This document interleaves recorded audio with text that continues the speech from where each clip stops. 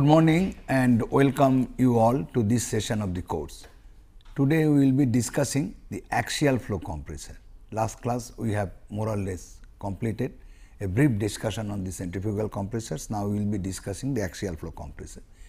The basic principle is mostly the same as that of a centrifugal compressor. What is the basic principle? That by absorbing the mechanical energy from outside, uh, the working fluid which is usually air gains its static pressure. That is the basic purpose of a compressor, whether it is centrifugal and axial flow compressor. An axial flow compressor, like a centrifugal compressor, also consists of a rotor and a stator.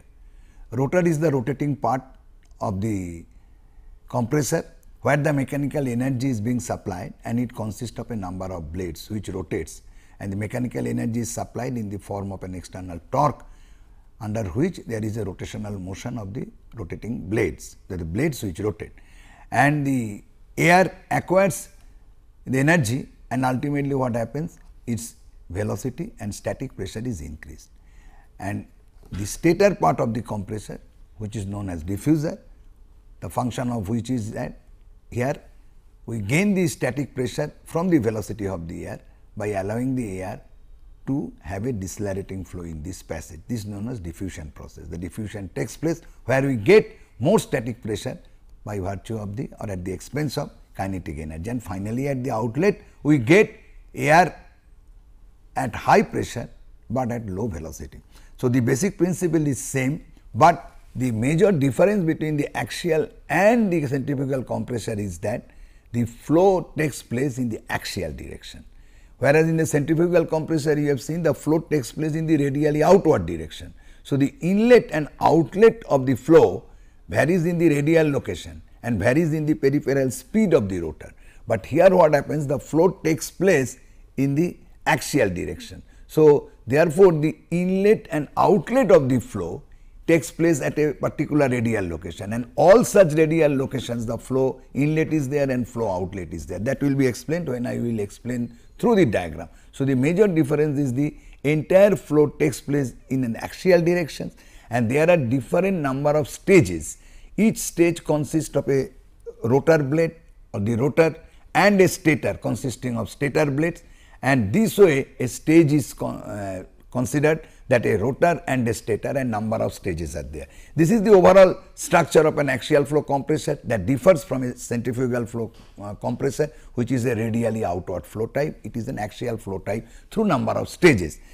At the same time, you should know that this axial flow compressor, the advantage over centrifugal compressor is that it can handle a large amount of air. The flow rate is more as compared to the centrifugal compressor, it can run more efficiently with high flow. So, therefore, where the high flow is required, the axial uh, compressor is uh, more uh, uh, axial compressor is important, high flow and also the weight is low. Okay. Now, let me explain the overall structure of an axial flow compressor, you see that this is an axial flow compressor, axial flow compressor, axial flow compressor. Now, you see an axial flow compressor, how does it look? Here there are two types of axial flow compressor. One is the drum type, this is the drum type I tell you drum type what is the difference I tell you? This is the disc type.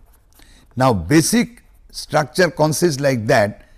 There is either a drum rotating drum this is the shaft or a disc on which these rotor blades are being mounted. This is the rotor blade and these rotor blades this is the drum type is mounted on the rotating drum.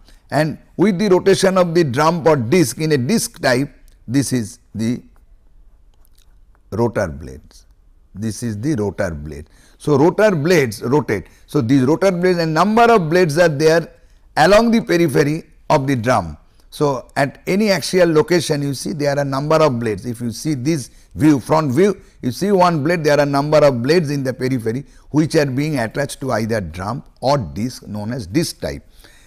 And there is a stationary casing this is the stationary casing I write this is the stationary casing. This is stationary casing.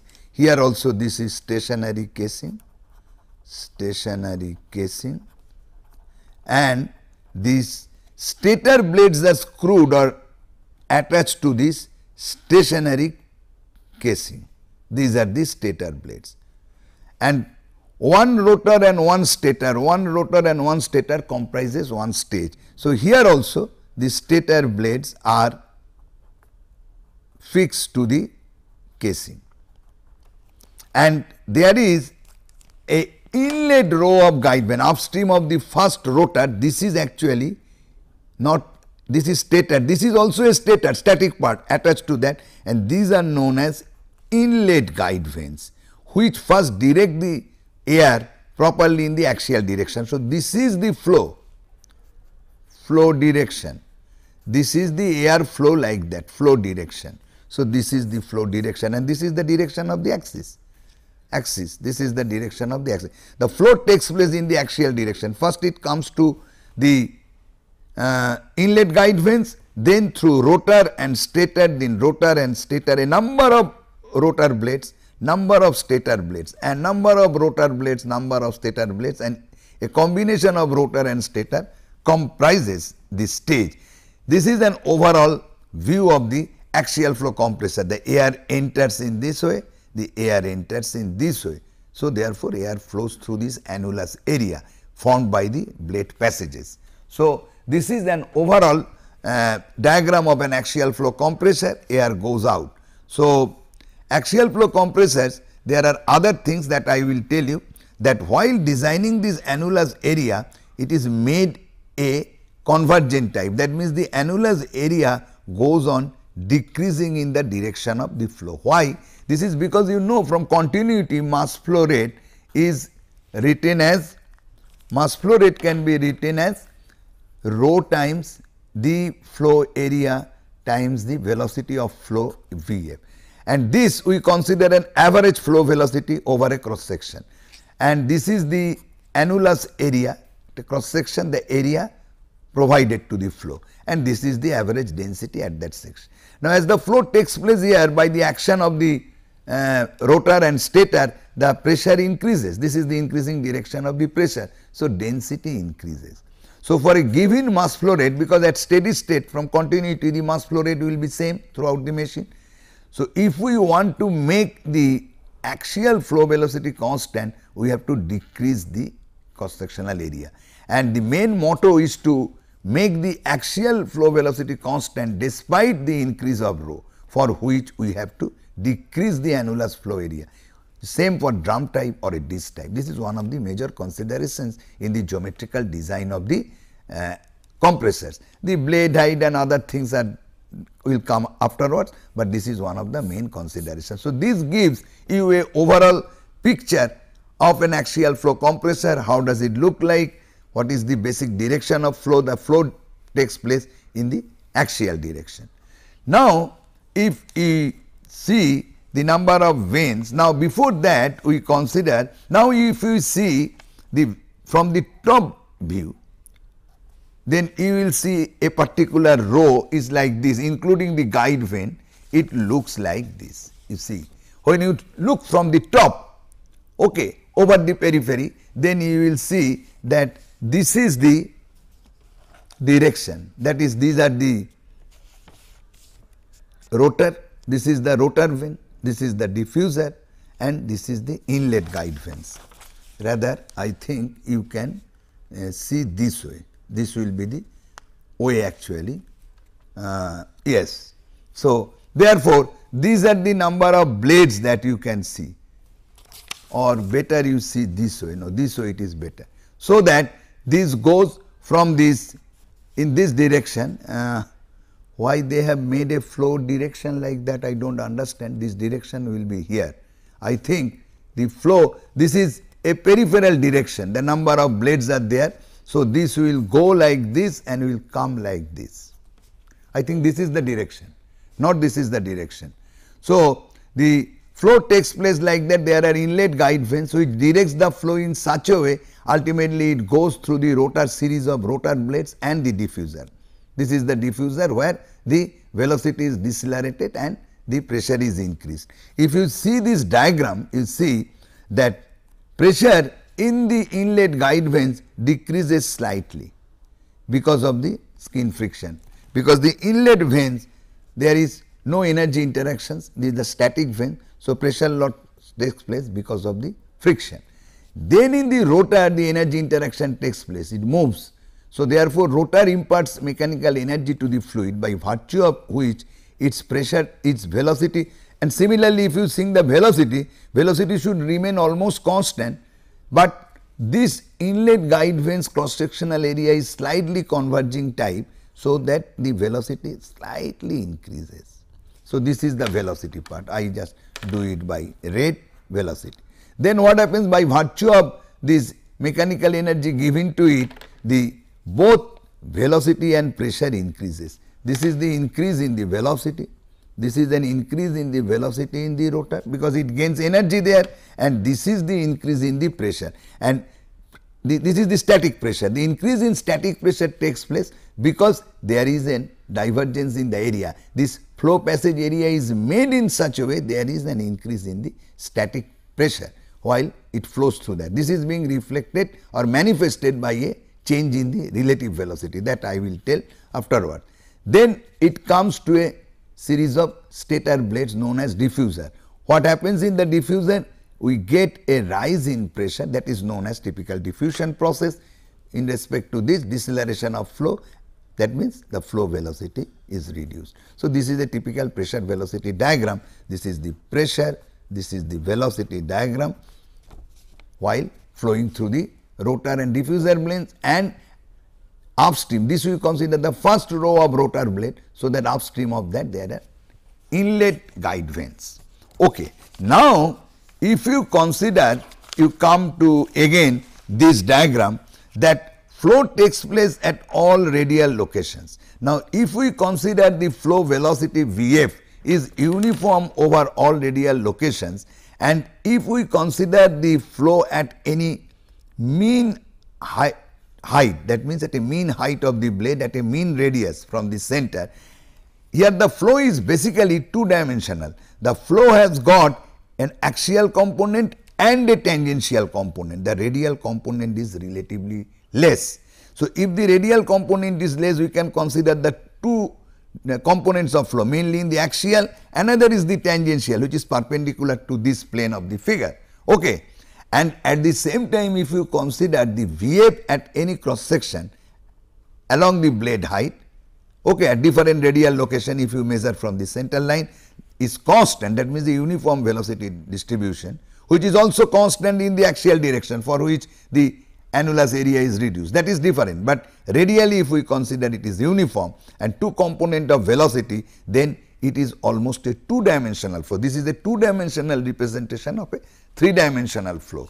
So, with this representation now you can have a look of the velocity triangle. Now, if you see that the same thing that we already shown that the a blade passage formed by the rotor and the stator you see this rotor and this stator. That means this part if we draw like this that means if we see from the top a this side no? Oh oh sorry sorry. Now it is okay now it if we see from the top the two rotors earlier things were visible no? Okay. So two rotor blades and two stator blades. Just a representative figure. I show you. This is what a representative blade passage formed by two rotor blades and two stator blades of a stage. Now, this is a stage, this is a stage, this is a stage. Now, what happens the stage at the inlet to the stage the air comes with some velocity v 1 with an angle alpha 1 which is nothing but the velocity coming out of the stator of the previous stage with some angle alpha 1 and this angle is made in the axial direction. This is the axial direction. You understand this is the axial direction. So, this is the um, uh, well axial direction.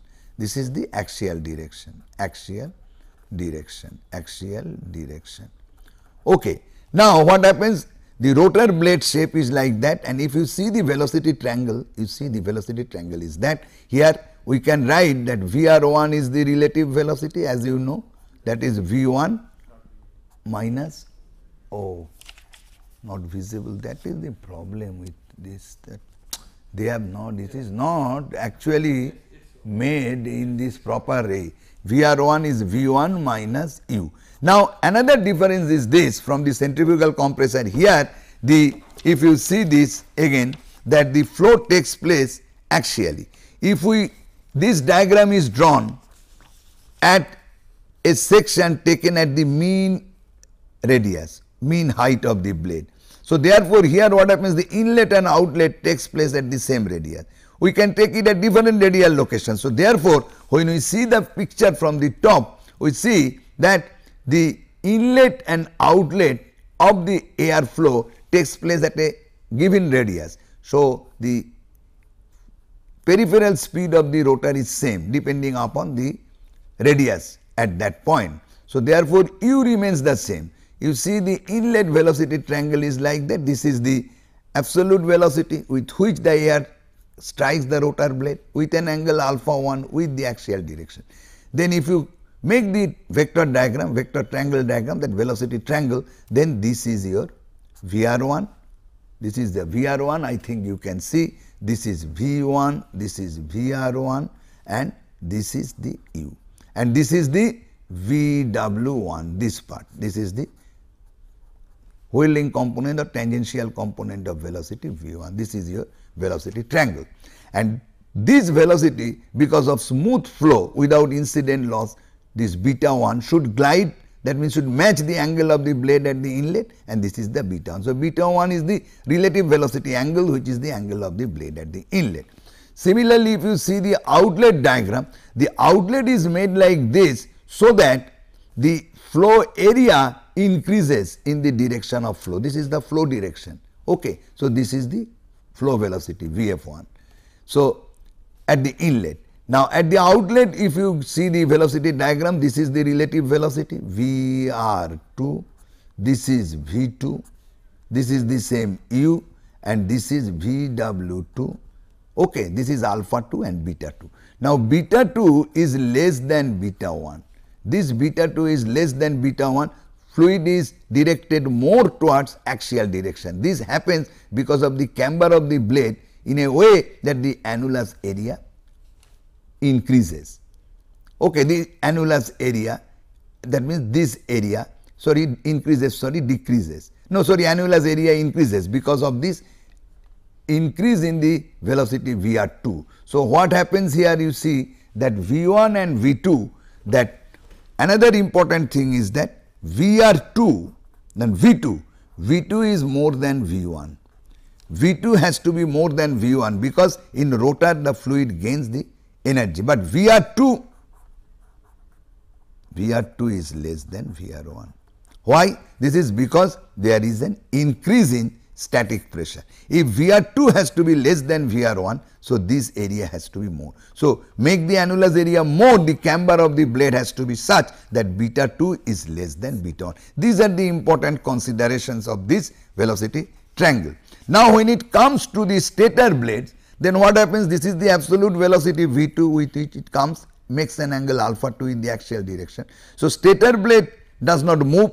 So, there is no velocity triangle simply the velocity direction is changed as far as the camber of the stator blade or the curvature of the stator blade. Here also the stator blade velocity is changed in such a way that alpha 3 is reduced from alpha 2 it is directed more towards axial direction and the design is made such a way that alpha 3 becomes again equals to alpha 1 so that it can smoothly glide or enter to the rotor blade of the next stage. So, we make this alpha 3 is equal to alpha 1. These are the important considerations. So, this way you can draw the velocity triangle at inlet and the velocity triangle at outlet of the rotor blades and this is the velocity how does it change in the stator blade. Okay. Now, we can write certain formula from this, but problem is that this cannot be shown here at the uh, same uh, diagram. Okay, let me uh, adjust it if you can see that thing. This is the stage now. If you can say, if you can see now, oh, these uh, blades you may not, you may discard so that you can go little here. So, now if you see this triangle what we can write from this now Vf1 as I have told in the design is made Vf2 and Vf that means this axial flow velocity. Now from the geometry of this tan alpha 1 is what this base divided by Vf1 tan beta 1 is this base divided by Vf1. So, if you add these two things then we get tan alpha 1 plus tan beta 1 is equal to this plus this is the u, u by Vf because Vf1 is Vf2 is Vf. So, this is I am writing Vf. Similarly, from the outlet velocity triangle tan alpha 2 if you make the tan alpha 2 from the simple geometry tan beta 2 is equal to u by Vf. Okay? u by Vf. Now, if you equal make this two equal then we can write tan alpha 1 plus tan beta 1 is equal to tan alpha 2 plus tan alpha 2 plus okay? Okay. Tan alpha 2 plus okay tan alpha 2 plus tan beta 2 okay that we can write. Or we can write tan alpha 1 minus tan alpha 2 is equal to tan beta 2 minus tan beta 1 this is one very important relationship. These two, this relationship and the geometrical relationship. These two relationship we can get from the two velocity triangles. Okay. Now, if we come to the work here itself I can write. Now, work if you write here, now work per unit mass W by M, work per unit mass is nothing but what is work per unit mass we know from the Euler's equation that VW2 U2 that is VW1 U1. All right. Here U2 is U1 and that is equal to U. So, therefore, it becomes equal to VW2 minus VW1 into U. Why? Because U1 is equal to U2 is equal to U. Okay. Now, we see that if this is true, then we can write W is equal to what is VW1 minus VW2. Let me see again. Now, VW1 minus VW2 is v, what is VW1 minus VW2 from this diagram. Now, VW1 can be written as this one VW1 VF1 tan alpha 1 Similarly, VW2 is VF2 tan alpha 2, VF1 VF2 is VF. So, therefore, this equals to VF tan alpha 1 VW1 and VW2 VF tan alpha 2. So, if you follow this velocity triangle then you can write this is equal to u VF into VW2 that is tan alpha 2 will come first minus tan alpha 1. Again from the equality as I have done already that tan, tan alpha 2 minus tan alpha 1 is tan beta 1 minus beta 2. So, we can write u v f tan of beta 1 minus tan of beta 2. Okay, where from? Because we had this thing earlier shown that that earlier we shown this thing that uh, actually this is a problem here. Uh, this is tan alpha 2, tan alpha 1 minus tan alpha 2 is tan beta 2 minus tan beta 1. Okay? So, therefore, tan beta 1 minus tan beta 2 tan alpha this is the work done per unit mass sorry or energy added per unit mass whatever way you can write it is your concept energy added. Now, if you consider that the change in the stagnation temperature which we call is the total temperature. I give the nomenclature delta T. That means, change in the stagnation temperature of the compressor, total change in that Cp is the total energy added to the air on the working fluid per unit mass that will equate this one Vf tan alpha 2 minus tan alpha 1. I can write tan beta 1 minus beta 2 tan alpha does not matter either of these two I can write they two are equal. So, therefore, the increase in the stagnation temperature is given by this formula which is very important that increase in the tan alpha 2 minus tan alpha 1 divided by Cp. Now, what happens is that the actual stagnation temperature rise is less than this and this is taken care of by a coefficient lambda by a coefficient lambda first of all let me write that which is less than lambda this is lambda less than 1 lambda less than 1 by this coefficient lambda which is known as the work done factor. This is the lambda which is known as the work done factor. Lambda is work done factor. Work done factor. Now, this is mathematical. What is the physical meaning of that? And this lambda equals to that means that the theoretically the energy per unit mass or work done per unit mass which is calculated is not actually imparted to the liquid uh, sorry to the fluid to the air here a less amount is being imparted because of this lambda factor which is less than 1 which is known as work done factor. This is because of the fact that we assumed at the beginning uh, this uh, axial flow is uniform over the entire blade height. This is not so and that creates a problem. Now, let us see that thing that if we consider the this way, if we consider the axial velocity, axial velocity, axial velocity that is Vf and if we consider this is the radial direction, this is the radial direction r and if we consider this as the blade height, rotor blade height, this is the this is the blade height, this is the height of rotor blade, height of rotor blade. Let us consider the first stage, first stage stage. Now, according to our two dimensional assumptions, we have considered that the this is the dotted line I am showing, this is the axial velocity distribution. This is the axial velocity distribution over the blade height. This is the blade height. Here I cannot write because the space is not there. So, here it could have written the ordinate is height of the that is the radial direction and this is the height of the rotor blade. I just make a hatch like that for your understanding. So, uniform distribution.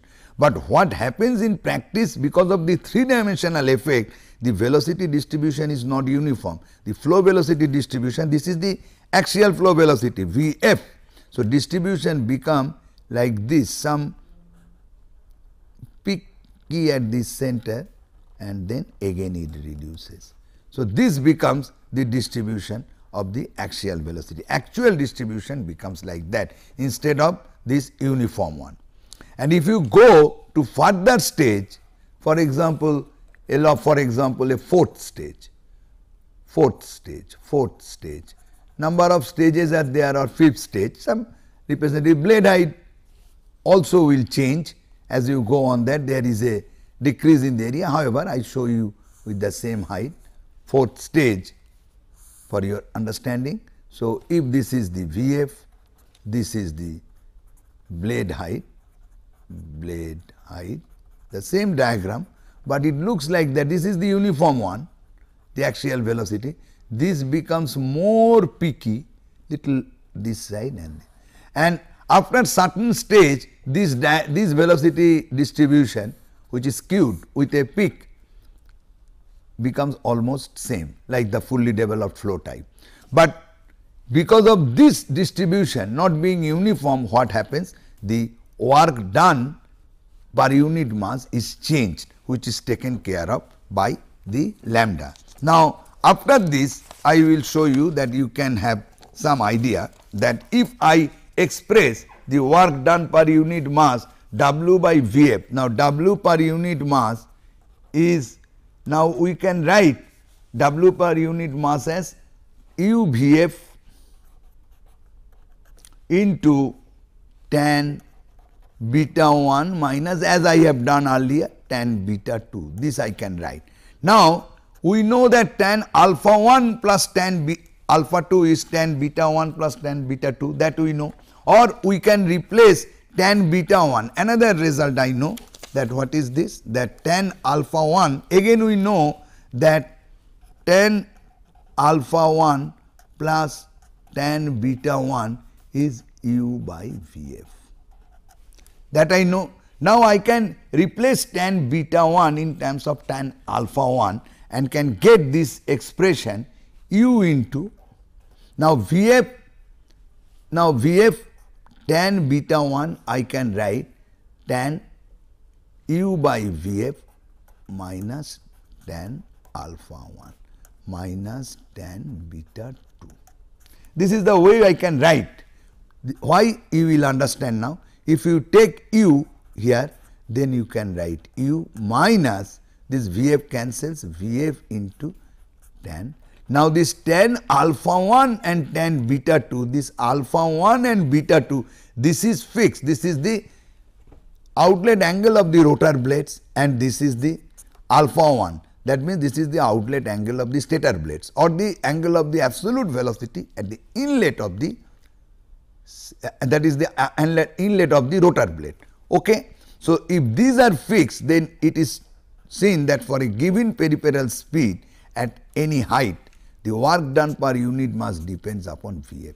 So, when there is a reduction in the flow velocity work done per unit mass is increased. When there is an increase in flow velocity it is decreased. So, therefore, with this if you compare this you will see that it changes with the radial locations. Here in these radial locations here the work done per unit mass is decreased while the work done per unit mass is increased because of a reduction in Vf near the tip and the root.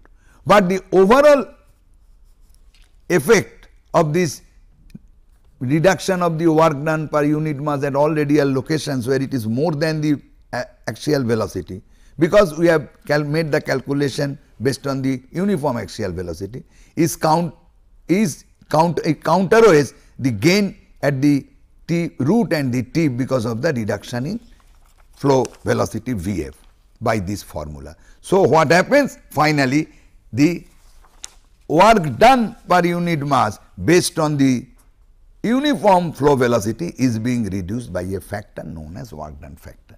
Clear?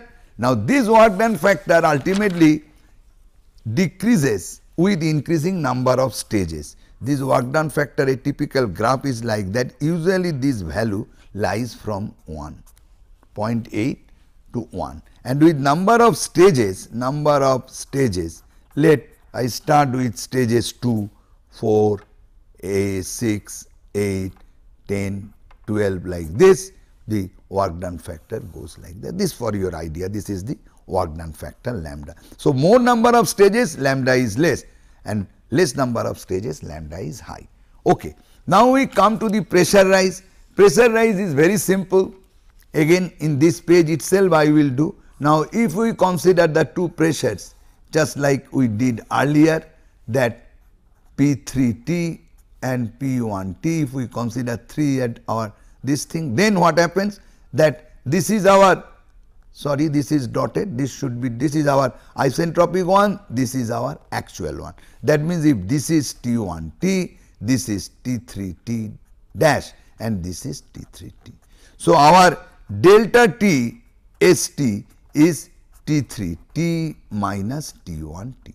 But our pressure rise p3 t by p1 t which usually we write here is the RS. Here S suffix is given per stage.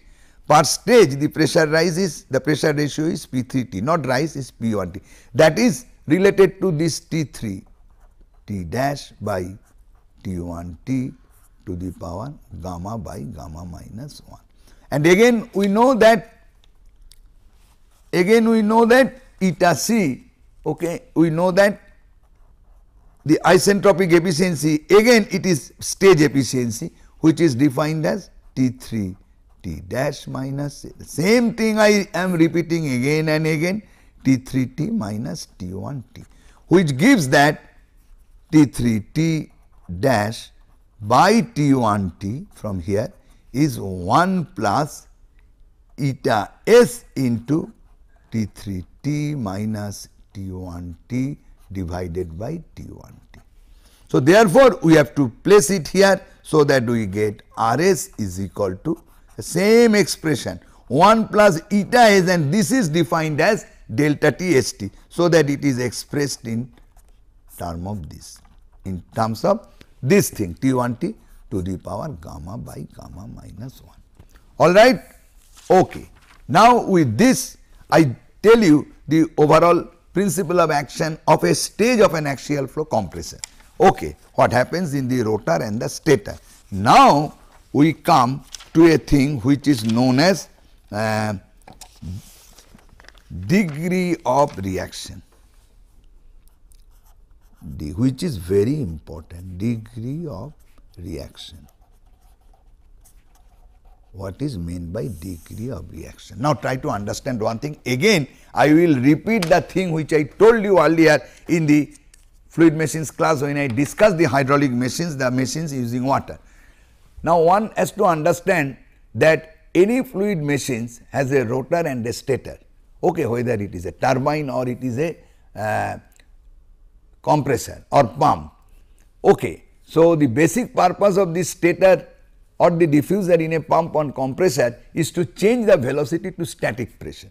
But the question comes whether in a rotor the static pressure will change or not. First of all, try to understand in terms of pressure, static pressure will change or not. So, static pressure will change in the rotor depending upon the rotor construction. If it is a radial flow machines, machine type, rather I will tell machine type, that means the radial flow machine automatically the pressure changes because of the centrifugal action of the centrifugal head that is the centrifugal force. When the radial location changes the peripheral speed is changing. So, therefore, this is manifested in terms of the increase in a static pressure. I explained so many times that a radial pressure gradient is imposed when the fluid has a tangential velocity and it changes its radial location. But in an axial flow machines when there is no change in the tangential flow from inlet to outlet not necessarily there will be a change in the static pressure. The change in the static pressure will depend upon the rotor design and construction. That means, if we have to change the flow area, if you change the velocity relative to the rotor in flow course of flow to the rotor passage, then only there will be a change in the static pressure and that is the measure of reaction in a reaction turbine that whether there is a change in the static pressure in the rotor itself or not. For example, in impulse turbine if you remember a water turbine uh, that Pelton turbine the water jet is striking the uh, uh, rotor that is the Pelton wheel at atmospheric pressure.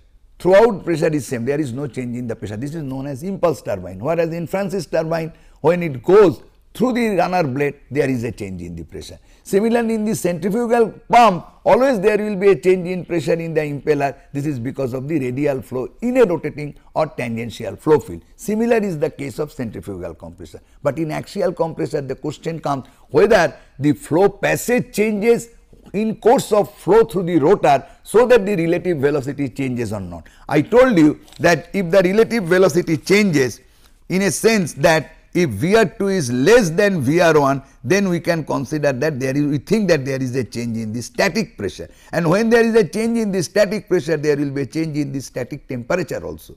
So, therefore, whether there is a change in the static pressure or not that we will call the machine is reaction type or not. Usually there is a change in static pressure and the static temperature while flowing to the rotor VR2 is made less than VR1 and therefore, the question of reaction comes and the degree of reaction in this context is defined as this way. The in terms of enthalpy it is defined. The change in enthalpy let us consider per unit mass in the rotor divided by the change in the stage delta H rotor plus delta H stator. This is known as delta H stage. Since the enthalpy change for an ideal gas is equal to the Cp into change in the temperature and since Cp is constant here we are considering the ideal gas it is independent of the temperature we can cancel it out and reality also the Cp does not vary much with the range of temperature. This can be written in terms of delta T the static temperature change in the rotor divided by static temperature change in the stage that means in rotor plus delta T stator. stator. Now, this is the degree of reaction. When there is no change in static temperature or static pressure, degree of reaction is 0. So, degree of reaction is 0. For a reaction machine, there will be always a degree of reaction since delta T rotor has got a value more than 0. So, this is the measure of the extent by which the total the fraction by which the total change uh, that is total change in the static temperature of the stage is taking place to the rotor. Okay. Now, with this definition let us now see the how we can find out an expression for this. Now, let us consider now again the definition since we give this S for stage and a rotor and stator these things we will not write. So, simply we tell that A stands for stator for our convenience and B stands for rotor and we write this definition as delta T.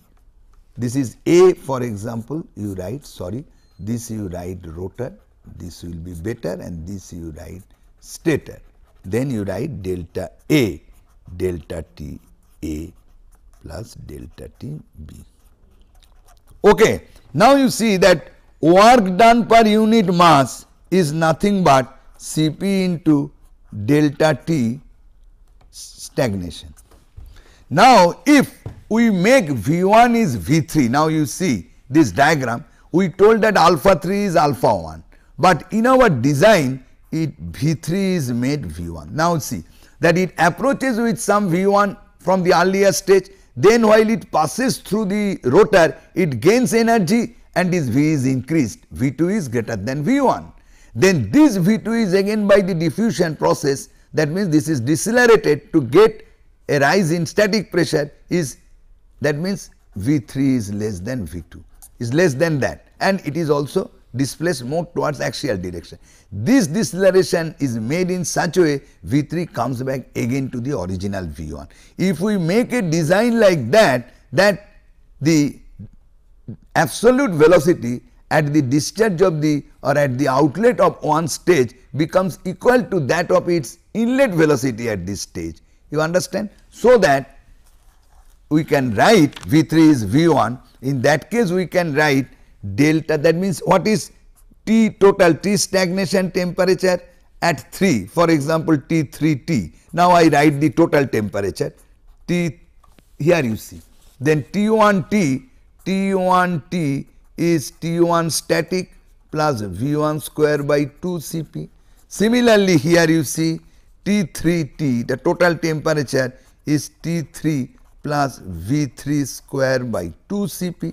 So, if V1 is V3 that means the dynamic equivalent temperature okay that means the velocity equivalent temperature are same. That means the difference in the total or stagnation temperature is difference in their static temperature. So, that delta T S T that is the stagnation temperature is delta T static. And here S is written that is per stage. That means delta T stage. That means this is delta T stage. That is static temperature per uh, of the stage is equal to the stagnation temperature. That means this can be written as delta T S. And this is nothing but the work done formula. That means if you remember that this what is this formula? U V F into tan alpha 2 minus tan alpha 1. So, therefore, Cp delta Ts is given by this correct bracket is there there will be a bracket now this is correct now how to find out this for delta TA. So, therefore, now I find out the value for delta TA. Now, rotor the energy is actually given in the rotor. So, W by M is written in terms of the total one that means U V F again I am writing tan alpha 2 minus for your convenience tan alpha 1 and this becomes is equal to Cp delta Ts static temperature rise per stage because the static temperature rise equal to the stagnation temperature. Now, if I write this W by M that is UVF into tan alpha 2 minus tan alpha 1 in terms of the static temperature change of the stator I am not permitted because stator static temperature. So, entire energy used not to increase static temperature, but at the same time to increase its velocity v 2 square by v 1 square. So, an energy balance in the rotor gives that rotor energy takes and the air static temperature is increased. This is the energy change due to the increase in static temperature that is the static enthalpy rise plus the kinetic energy change. So, two summation of these two from a steady flow energy equation is the energy input per unit mass basis. So, this is that. So, therefore, we can write Cp delta Ta is equal to UVF tan alpha 2 minus tan alpha 1 minus half V2 square minus V1 square. Now, you see V2 V1 from the velocity triangle. Now, from the velocity triangle if you recall that V1 is what if you see this triangle. So, this is alpha 1 in terms of alpha 1 the cosine of alpha 1 is which one Vf by V1. So, V1 is Vf by cosine alpha 1 and V2 is Vf. Vf is same as I have told earlier by cosine alpha 2. That means, this is Vf by cosine alpha 1, this is Vf by cosine alpha 2. So, with this thing I can write this equal to UVF tan alpha 2 minus tan alpha 1 minus half. This is Vf square. I take Vf common Vf square into 1 by cosine. That means sec sec square alpha 2 minus sec square alpha 1.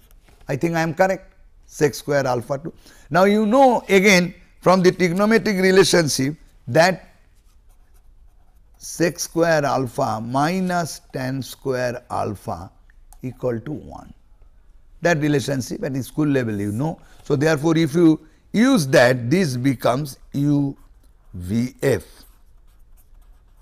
tan alpha 2 minus tan alpha 1 minus half v f square then this is also tan square alpha 2 minus tan square alpha 1.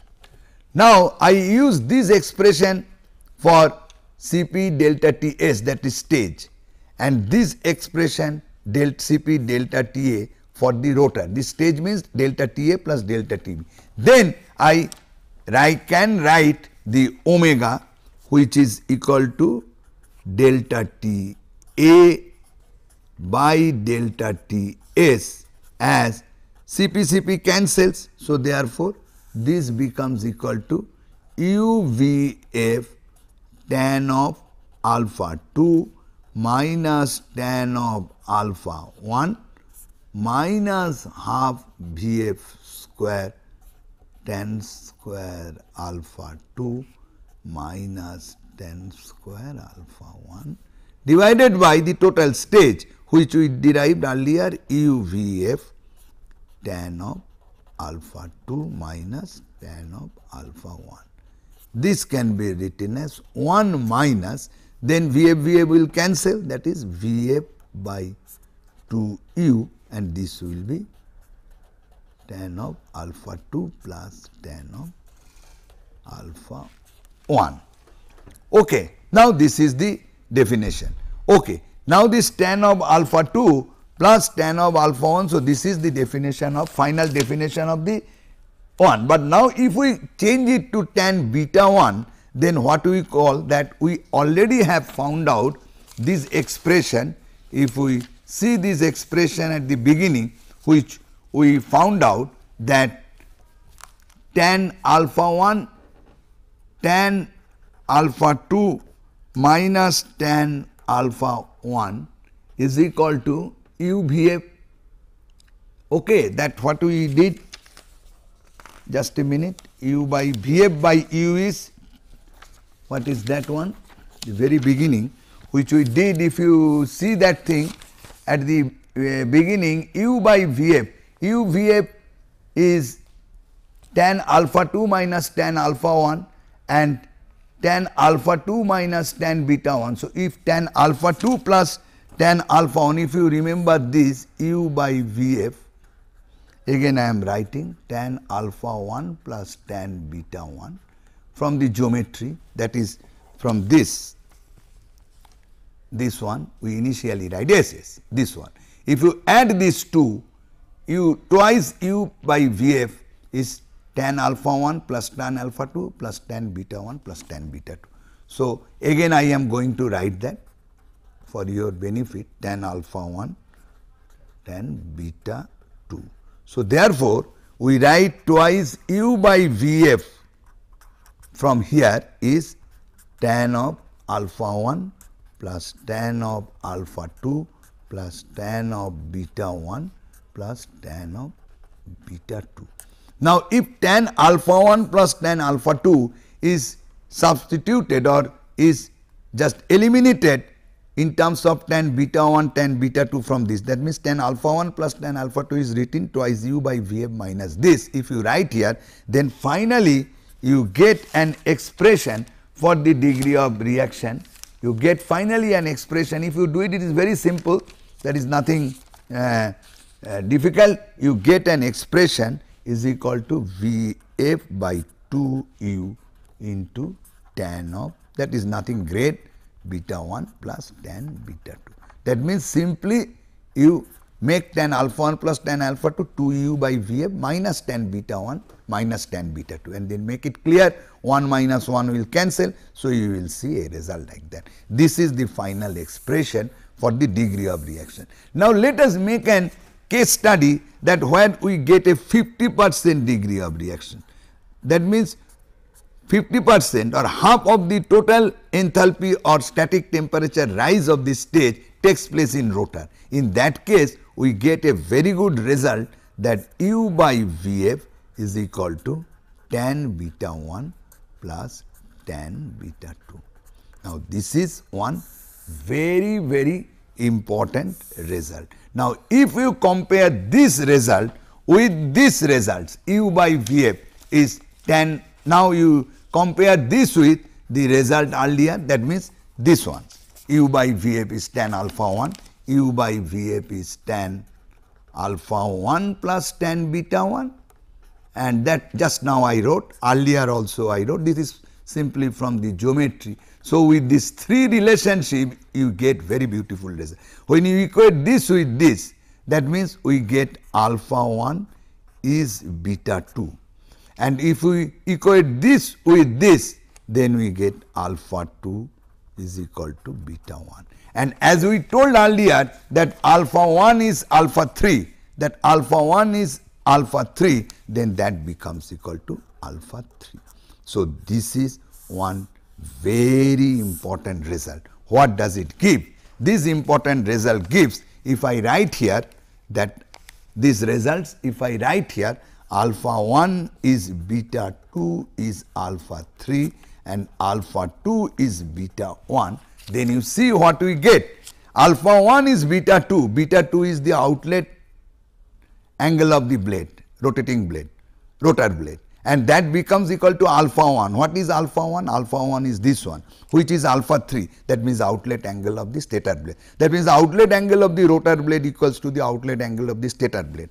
Again beta 1, beta 1 is the inlet angle of the stator blades. Which becomes is equal to alpha 2. Alpha 2 is the absolute velocity angle at the outlet of the rotor which exactly equals to the inlet angle of the stator blade. That means the inlet angle of the rotor blade is equal to the inlet angle of the stator blade. So, therefore, inlet angle of this rotor blade is equal to the inlet angle of the stator blade outlet angle of the rotor blade is equal to the outlet angle of the stator blade. So, they are cambered in the opposite direction, but their inlet outlet angles are same. The inlet angle of one blade is equal to that of the other and outlet angle of one rotor blade is equal to that of the stator blade. This type of design of blade is known as symmetrical blading, symmetrical blading and it is easy for construction. So, therefore, we see for a 50 percent degree of reaction 0.5 we get a symmetrical blading. That means, the inlet angle of the rotor and stator blades are same similarly the outlet angle of the stator and rotor blades are same. Okay, thank you today after this.